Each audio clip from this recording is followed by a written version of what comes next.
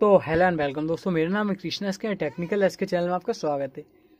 तो गाइज़ यार, आज की इस वीडियो में हम बात करने वाले हैं कि आप अपने वीवो के किसी भी फ़ोन में जो आई ओ एस फोर्टीन का जो कंट्रोल सेंटर है, वो कैसे इंस्टॉल कर सकते हो? काफ़ी सारे लोगों की कमेंट्स भी मेरे पास आ रही थी कि भाई, वीवो फ़ोन का जो कंट्रोल सेंटर है, उसे कैसे अपग्रेड करके जो है आई में कन्वर्ट कर सकते हैं? तो आज की इस वीडियो आपको फाइनली ये मैं बताऊँगा कि कैसे आप कंट्रोल सेंटर्स को जो इंस्टॉल कर सकते हो अपने वीवो के किसी भी डिवाइसेस में तो वीडियो को आपको बिल्कुल भी स्किप नहीं करना है। और हाँ अभी तक आप लोगों ने वीडियो को लाइक नहीं किया तो यार वीडियो को लाइक कर दीजिए और चैनल पर फ़र्स्ट टाइम आयो तो चैनल को सब्सक्राइब करके बेल आइकन को प्रेस ज़रूर कर लीजिएगा। तो चलिए फ्रेंड्स वीडियो को स्टार्ट करते हैं। तो गाइज़ सबसे पहले आपको करना क्या है कि आपको उसके लिए ज़रूरत पड़ने वाली एक फ़ाइल की, जिसका लिंक जो है आपको डिस्क्रिप्शन बॉक्स में मिल जाएगा। तो डायरेक्टली आपको करना क्या है कि उस फ़ाइल को डाउनलोड करके ओपन करना है। तो जैसे ही आप उसे ओपन करोगे कुछ ऐसा इंटरफेस जो है आप लोगों को देखने को मिलेगा।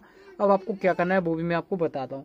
तो यहाँ पे थोड़ा सा टाइम लगेगा विदाउट रूट के, आपको रूट करने की कोई भी ज़रूरत नहीं पड़ेगी। तो यहाँ पे हम क्लिक करेंगे यहाँ पे और यहाँ पे कुछ इस तरीके का इंटरफेस आ जाएगा।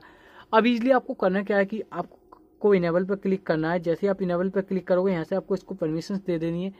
एंड यहाँ से परमिशन दे देने के बाद आपको बैक होना है। बैक होने के बाद में यहाँ पे आपको जो कंट्रोल सेंटर जो है, वो इनेबल हो जाएगा। यहाँ पे कस्टमाइज कंट्रोल यहाँ पे अपने हिसाब से सेटअप कर सकते हो, जो भी आपको करना है। वैसे आपका जो कंट्रोल सेंटर है वो सेट हो चुका है, आप देख रहे होंगे, नीचे यहाँ पे एक निशान बन के आ चुका है। यानी कि कंट्रोल सेंटर अगर कोई एक्स्ट्रा चीज़ आप यहाँ पे ऐड करना चाहते हो, आप कंट्रोल सेंटर्स में तो वो यहाँ से आप कर सकते हो। कोई मतलब कि किसी एप्लीकेशन को अगर आप ऐड करना चाहते हो तो वो आप यहाँ से कर सकते हो। ठीक है? और अब मैं बताता हूँ। और भी यहाँ पे काफ़ी सारी चीज़ें हैं, जैसे म्यूज़िक कंट्रोल को भी आप अपने हिसाब से मॉडिफाई कर सकते हो। ठीक है? तो यहाँ पर काफ़ी सारे फीचर्स आपको देखने को मिल जाएँगे कि आप किस चीज़ पे म्यूज़िक जो यूज़ करना चाहते हो, ठीक है?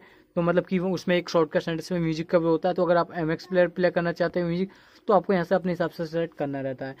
एंड यहाँ पे कुछ और भी है बैकग्राउंड का अगर आप इमेज के चेंज करना चाहते हो तो वो भी आप यहाँ से कर सकते हो। करंट वॉलपेपर करंट वॉलपेपर या फिर सिलेक्ट फ्रॉम गैलरी तो आप कुछ भी कर सकते हो। देखिए सिलेक्ट फ्रॉम गैलरी या फिर ट्रांसपेरेंट तो ट्रांसपेरेंट भी काफ़ी अच्छा रहता है।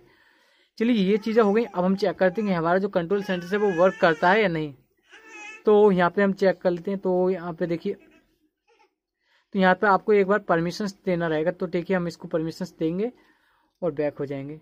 अब हम निकालेंगे तो हमारा जो कंट्रोल सेंटर है वो ट्रांसपेरेंट हमने किया था तो इसलिए यहाँ पे तो यहाँ पे आ रहा है, ठीक है? तो मैं यहाँ पे दिखा देता हूँ, देखिए, आप कहीं भी यूज़ करोगे तो ट्रांसपेरेंट आपको देखने को मिलेगा तो आप यहाँ पे वॉलपेपर भी यूज़ कर सकते हैं, फ़िलहाल मैंने ये ट्रांसपेरेंट किया था, ठीक है? तो काफ़ी अच्छा लुक तो आपके फ़ोन को यहाँ पे मिल ही रहा है। तो कुछ इस तरीके का ये लुक आपको देखने को मिलेगा। आप यहाँ से ब्राइटनेस वगैरह सारी चीज़ों को कस्टमाइज़ करके अपने हिसाब से सेट कर सकते हो। तो आई होप कि वीडियो पसंद आई। वीडियो पसंद आई हो तो वीडियो को लाइक ज़रूर करना गाइज़ और वीडियो को अभी तक लाइक नहीं किया तो वीडियो को लाइक तो करना ही और चैनल को अभी तक सब्सक्राइब नहीं किया वो भी सब्सक्राइब कर देना। तो चलिए गाइज़ मिलते हैं नेक्स्ट वीडियो में।